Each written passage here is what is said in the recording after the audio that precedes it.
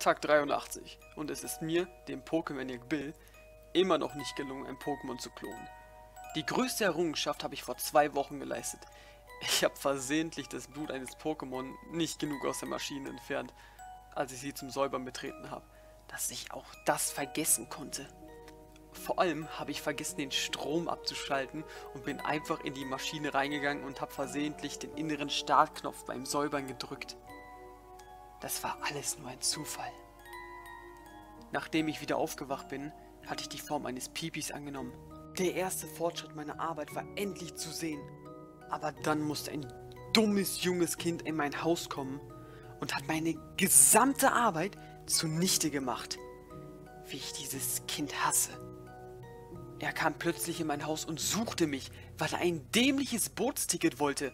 Damit er keinen Verdacht stöpft, musste ich so tun, als ob ich Hilfe benötige. Ach, ich ging wieder in die Maschine und er drückte den Umkehrknopf und ich transformierte mich zurück. Damit er mein Haus wieder verlässt, drückte ich ihm das Bootsticket in die Hand, dass ich wieder allein sein konnte.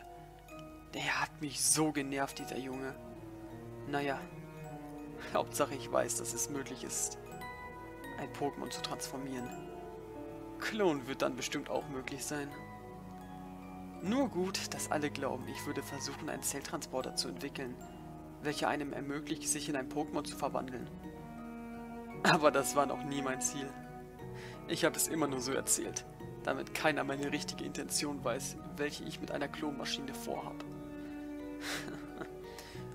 naja, so, dann hole ich mir mal das nächste Versuchsobjekt, welches ich für sein Blut töten und verwenden kann.